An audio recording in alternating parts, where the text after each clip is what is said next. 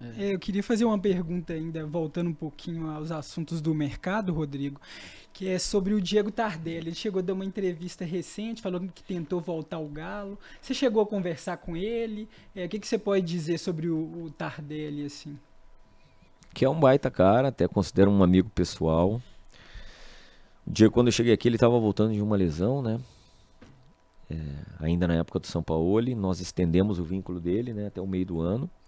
E fizemos a despedida dele do Galo, como infelizmente não tinha público, né? Por conta da pandemia. Mas ele é merecedor de todo o reconhecimento. Depois ele foi para Santos e nas vezes em conversou, em que conversou conosco, é, o entendimento foi que tínhamos, né, muitos atletas no setor e que esse retorno é, ele poderia não ser bom para ele nem para o clube. Apenas isso, porque ele é merecedor de todo o reconhecimento, de toda a gratidão que o Galo tem e a massa atleticana tem por ele.